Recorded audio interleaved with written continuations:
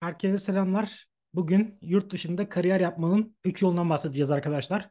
Bu videoya başlamadan önce videoyu beğenip kanalımıza abone olursanız bizi daha farklı video çeşitleri ve daha fazla video için aynı şekilde destekleyebilirsiniz. Şimdi arkadaşlar ilk yöntemimiz yurt dışında kariyer için Erasmus staj programı. Buradaki önemli olan nokta şu. Erasmus'un normal yurt dışına gidilen ve okul okunulan bölümü değil burada kastedilen staj yapmaya dayalı olan programı. İkisi arasındaki fark diğerinde yani daha yaygın olan programda amacınız sadece yurt dışındaki bir üniversiteye gidip bir ya da iki dönem okumak oluyor. Buradaysa genellikle yazın ama tabii tercihe bağlı olarak bu dönem içinde de olabilir. Sonbaharda vesaire de yapılabilir. Bayağı bir şirkete gidip orada çalışıyorsunuz kendi bölümünüzle ilgili. Şimdi burada şöyle bir şey var. Bazen sizin okuduğunuz bölüm yurt dışında denkli olmayabilir. Ya da oradaki şirketler bunu benimsemeyebilirler. Ama bu staj programı sayesinde arkadaşlar başka meslekleri de aslında elde edebiliyorsunuz. Başka ya da bölümünüzle ilgili yine bambaşka farklı konuları da burada sayabiliriz. Şimdi Erasmus staj programının artısı şu. Eğer siz staj yaptığınız yerde kendinizi ispatlayabilirsiniz. O staj yaptığınız 3, 6, 9 ay boyunca şirket muhtemelen size pek çok farklı iş teklifi yapacaktır. Ya uzaktan yapar dersiniz ki mesela ben işte geri döneceğim ülkeme ama işte sizinle çalışmak istiyorum. Eğer bu noktada şirkette sunduğunuz bir diğer önermesi varsa mutlaka onlar size bir remote yol bulacaktır. Ve bu da mezun olduktan sonra oralara tam zamanlı gitmenizin kapısını açar. Ve veya bunun haricinde bir başka imkan da şu olabiliyor çoğu yerde. Arkadaşlar mesela çalışıyorlar orada, staj yapıyorlar daha doğrusu. Ve o şirkette olmasa da aslında yakınındaki başka şirketlere gidebiliyorlar. Çünkü oradaki bu sefer kurum, kuruluş, startup her neyse bu hiç fark etmiyor.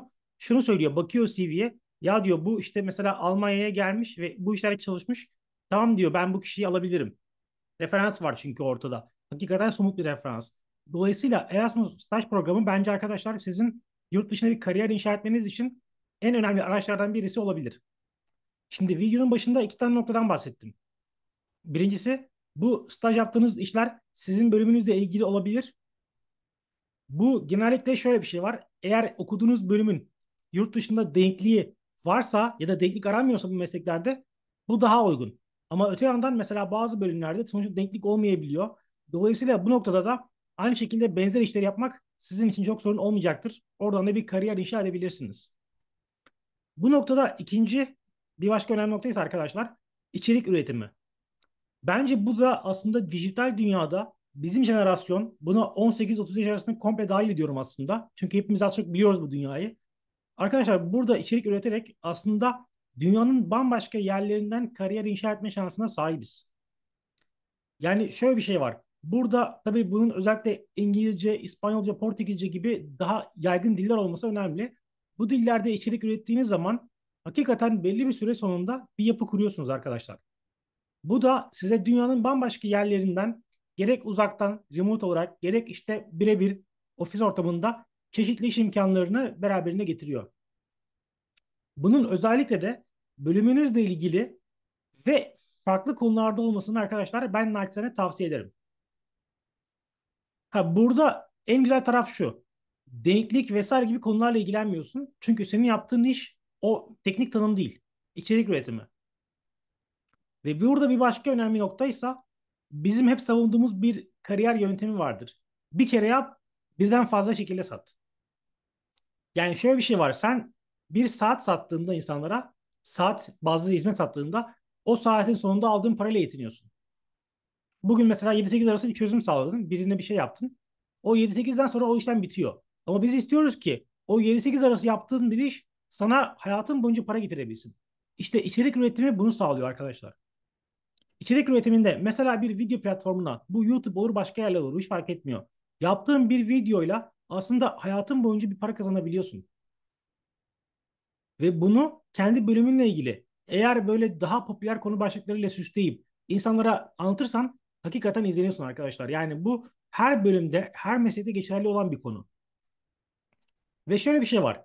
Özellikle bu yaptığınız içerikler teknik bir alandaysa yurt dışındaki böyle pek çok araştırmacı, pek çok farklı kişi aslında sizi buluyor. Özellikle headhunter'lar bu konuda daha da iyi çalışıyorlar. Bizde biraz daha tabii lokal bakılıyor. Çünkü ister istemez yani yurt dışındaki birini transfer etmen çok kolay değil bu döviz kurlarıyla. Ama mesela Amerika'daki birisi dünyanın her tarafına bakıyor o konuda.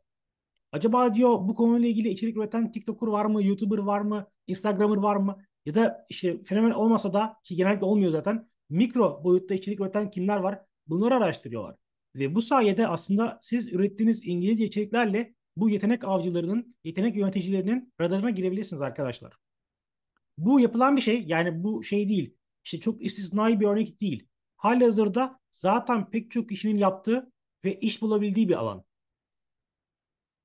Dolayısıyla burada bölümünüz ne olursa olsun, işiniz ne olursa olsun bence kesinlikle bir süre en azından 2-3 yıl içerik üretip bu dünyada kendinizi geliştirmeye çalışın arkadaşlar. Ha burada şöyle bir şey var. İçerik üretiminde hep karşılaştığımız bir nokta oluyor. O da şu. Ya benim videolarım, benim podcastlerim dinlenmiyor, izlenmiyor. Abi zaten izlenmeyecek. Çünkü sen teknik bir iş yapıyorsun. Ama önemli olan o seni izleyen mesela 15 kişi, 20 kişi kim?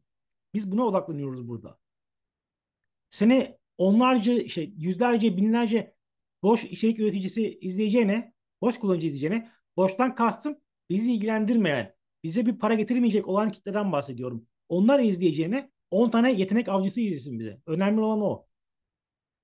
Ha, İngilizcem iyi değil, işte nasıl anlatacağım vesaire hiç dert değil arkadaşlar. Yani ilk başta altyazı ekleyin, İngilizce altyazı eklemeye başlayın. Zamanla zaten onları okudukça, üzerine bir şeyler yaptıkça göreceksiniz. Ki benim şu an, şu an yaptığım bu mesela.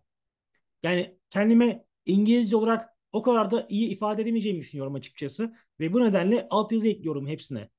Ki böylece dünyanın bambaşka yerlerindeki insanlar izlesinler. Sizlere de bunu mutlaka öneririm. Çünkü oradaki insanların etkileşimi hem size global bir kariyer inşa edebiliyor hem de daha sonraki süreçte aslında bir tatmin de yaşıyorsunuz. Yani dünyanın her tarafından insanların sizi izlemesi bambaşka dillerde çok bence arkadaşlar güzel bir imkan ve sonraki aşamada güzel kapıların açılacağının bence bir sinyali. Son nokta ise derinlemesine uzmanlık. Şimdi ikinci madde pek bu kadar da uzmanlık içermiyordu. Yani örneğin siz bölümünüzle ilgili biraz daha böyle fütüristik, farklı bakış açıları getiren konulara değinerek de aslında yurt dışından kabul alabilirsiniz ya da teklif alabilirsiniz. Ama derinlemesine uzmanlıkta önceliğimiz pazarlamak değil, bilginin kendisi. Ama burada şöyle bir şey var.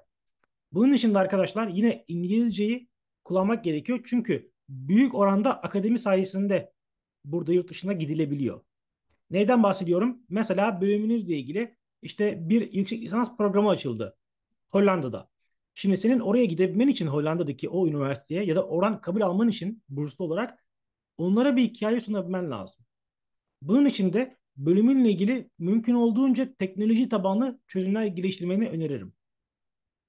Ki benim mesela bu konuda çevremde hakikaten pek çok örnek var. Mesela dış ticaret mezun arkadaşlarımız bunu en iyi gördüğüm yerlerden bir tanesi olduğu için söylüyorum. Mesela Kanada'daki bir üniversiteyle görüşüyor.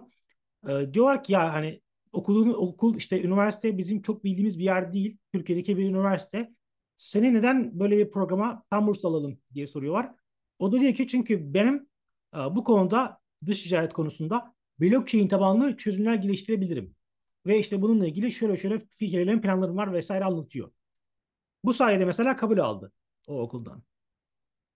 Ve şunu söylemek isterim. Yani bu tek örnek olsaydı konuyla ilgili size anlatmak istemezdim. Yani bir istisna insanlara bununla ilgili çok da büyük bir beklentiye sokmamalıyım derdim. Ama daha sonra başka alanlarda da gördüm ki arkadaşlar bu hakikaten yaygın bir konu. Yani eğer sizin gerçekten bilgi sahibi olduğunuz ve teknolojiyle birleştirebildiğiniz bir alan varsa bölümünüzle ilgili bence mutlaka buradan bir hikaye kurgulamaya çalışın. Hikayeden kastım şu.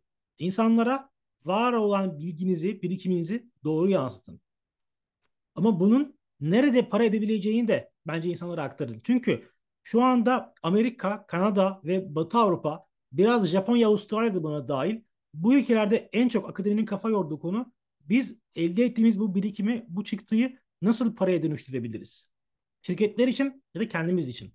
Bunu kafa yoruyorlar ve sizler de bu noktada elde ettiğiniz birikimi nasıl paraya çevirebilirim? Bunu düşünerek bence mutlaka arkadaşlar hikaye kurgulayabilirsiniz ve kurgulamalısınız da. Yani kariyer yönetiminizi şöyle düşünelim. Burada birkaç farklı bakış açısı olacak. Birkaç farklı yol olacak. Bence bunlardan bir tanesi mutlaka bu derinlemesine uzmanlık konusu olsun arkadaşlar.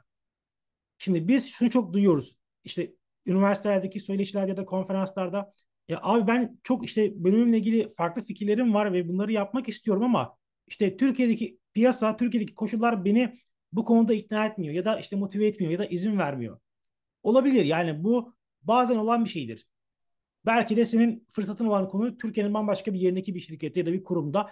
Dolayısıyla oraya ulaşamadığın için belki doğru bir eşleşme yakalayamıyorsun. Ama bunun için işte elinde internet gibi bir imkan var.